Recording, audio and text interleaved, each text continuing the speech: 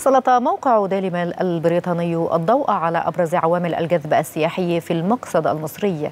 وفي تقرير مصور استعرض الموقع أهم الأسباب لقضاء الإجازة في مصر والتي وصفها بأنها آلة الزمن يسافر بها الزائرون من خلال الأماكن السياحية والأثرية التي تذخر بها عبر الزمن للأمام والخلف لآلاف السنين في لحظة. كما أنها مقصد سياحي نابض بالحياة والشمس طوال العام. وخلال التقرير تم الحديث عن المتاحف الغنية بالقطع الأثرية التي تعبر عن التاريخ والحضارة ومنها المتحف القومي للحضارة.